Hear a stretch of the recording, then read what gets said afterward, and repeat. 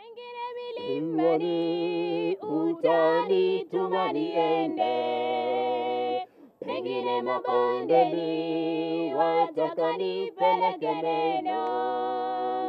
Dhahiri sitakata wito wako Bwana Mungu, nitasema.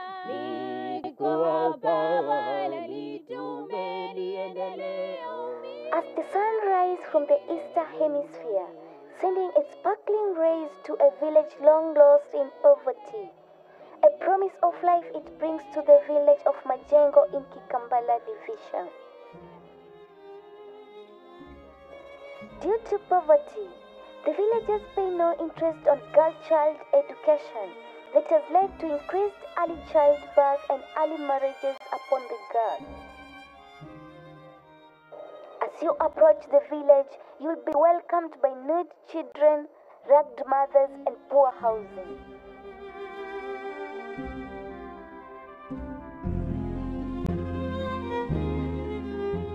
The villagers live in abject poverty and usually live on hand to mouth, whereby education is long forgotten and replaced with illiteracy. They experience a lot of economical strains as the village lacks economical initiatives which the natives can engage for a living. hajui mpaka nikapata watoto. Nimeishi nao watoto, wengine walisoma wakaacha, wengine ndio wao wanaendelea. Pesa ilikuwa hapa, hakuna kazi kimasomo, ni kubambanya bambanya mpaka nimeshindwa. Sina shughuli, ni kulima, itapatikana haitapatikana, ni mbio tu, hakuna kitu mm.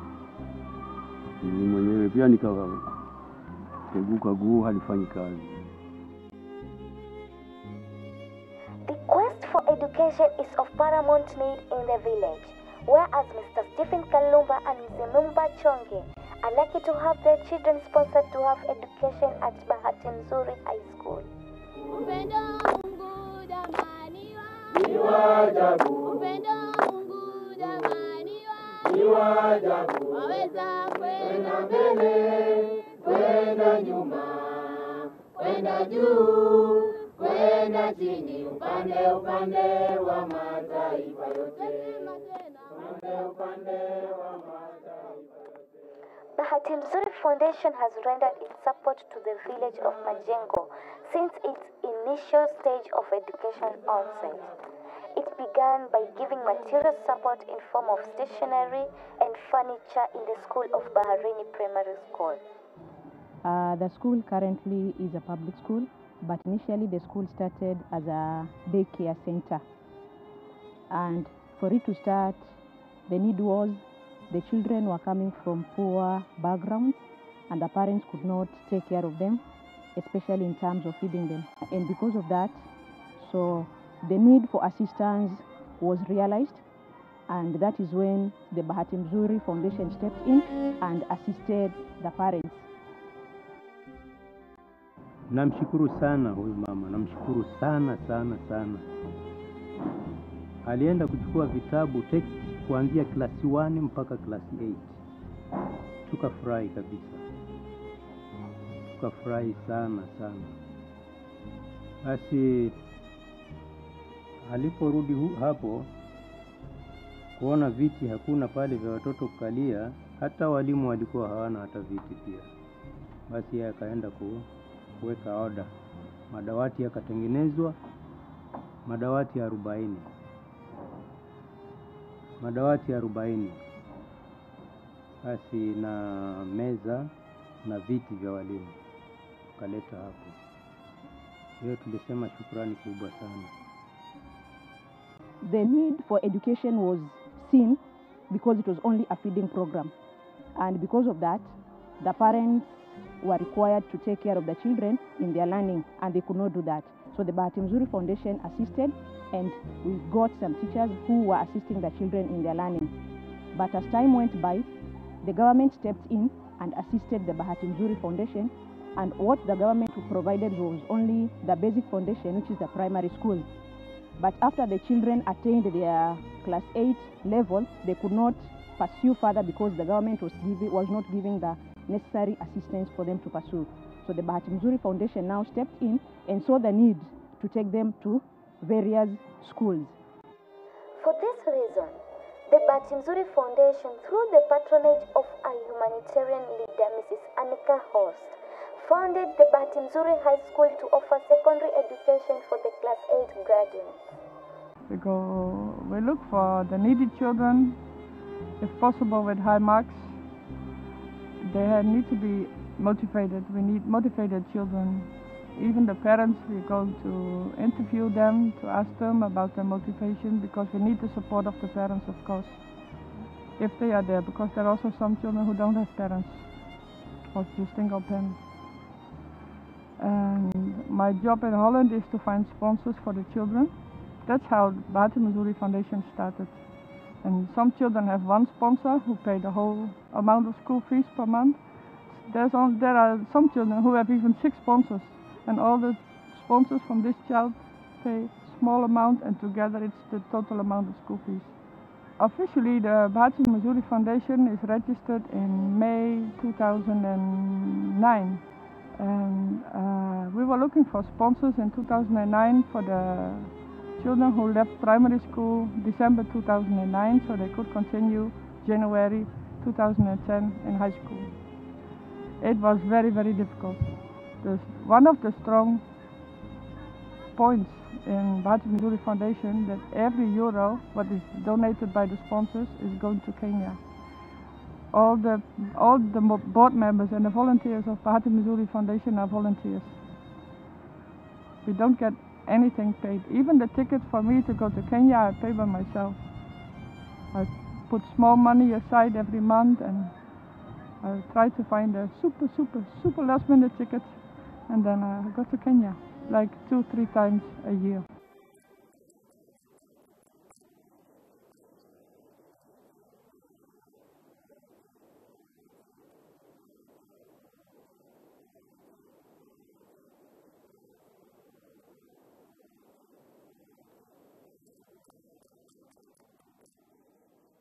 There are also coming new sponsors by the sponsors who are already there because they tell them how nice it, it's it's it's it's nice to have uh, to sponsor a child in Kenya. And some have very close contact. They even make phone calls to each other. Some write letters some write email.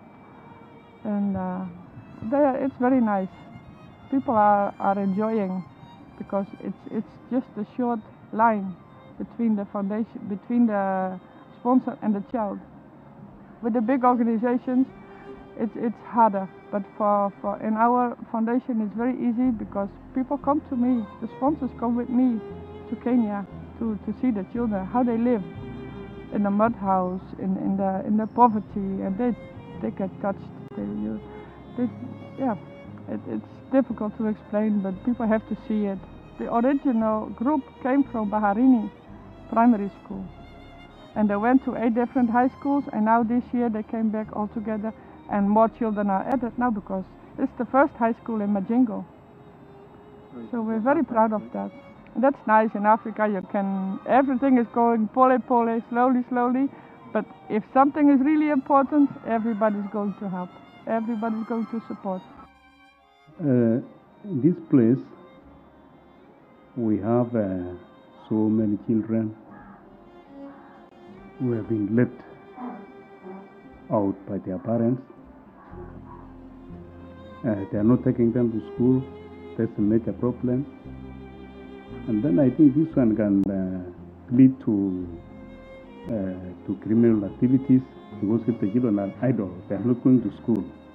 They'll engage, themselves on uh, uh, drugs and other criminal activities. children who will know where they have come from, who will even help other children. Hakuna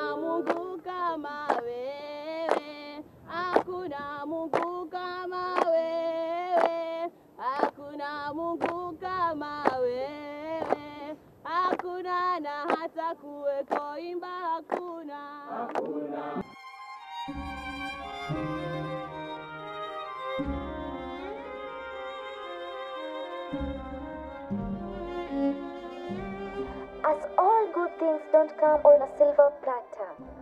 The road to education realization is not a smooth one. We want a dormitory because we want them to go to boarding. Because some really have to walk far and they, they leave home when it's dark and they come back home also when it's dark. And well, as you know, the children in Africa, it's not like in Holland. If they come home, they have to go fetch water, find firewood, help in the house. And they need that time because I think the schedule on school is, the, the pressure on the children in high school is much higher than in Holland. They have to work very, very hard. So they need all that time to study. And all of them, they don't have electricity at home. And can you see when they are when they are at the paraffin lamp trying to study? It's not healthy. It's not good. Yeah, we want a playing ground. We want a football place. We want a basket basketball place. We even want, when everything is there, we want houses on on you call it poles, there in the back. So when sponsors and volunteers are coming, we want them to stay as long as they want. Let them come. Let them come to this place and see. That's that's the best way to to show because I can say so many things, but see how happy these children are to get a chance to to, to get more education. with the with the with the time that we have interacted, they they, they, they, they are promising in terms of uh, the activeness, but maybe the challenges they face back home is what is hindering their performance. Yeah, sometimes we have such cases whereby some students don't come because of uh, maybe uh, apart from maybe many other challenges they face back home. So when you come to inquire, you find that as in if you look their background, most of them are uh, really needy and uh, they face a lot of challenges when they are at home. So coming to school, sometimes they, if they tell you about their problems, you have to just understand and uh, take it into consideration. We have uh, this new school, and uh, we would like them to assist in any way they can.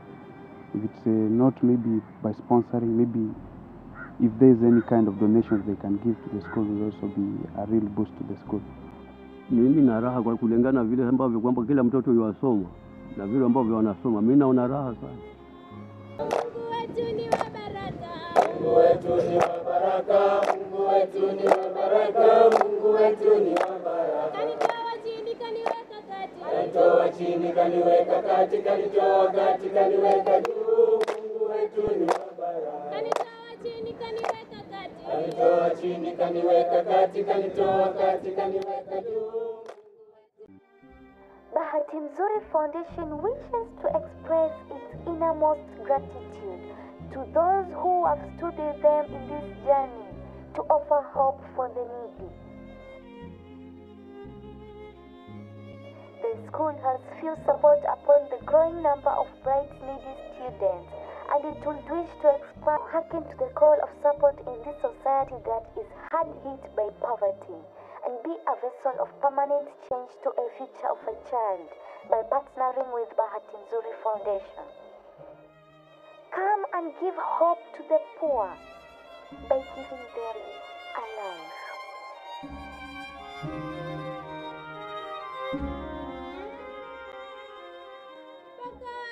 Ni bado bado watoto wako wanasisia, wale wanyonge wamerudi wakisema wamechoka.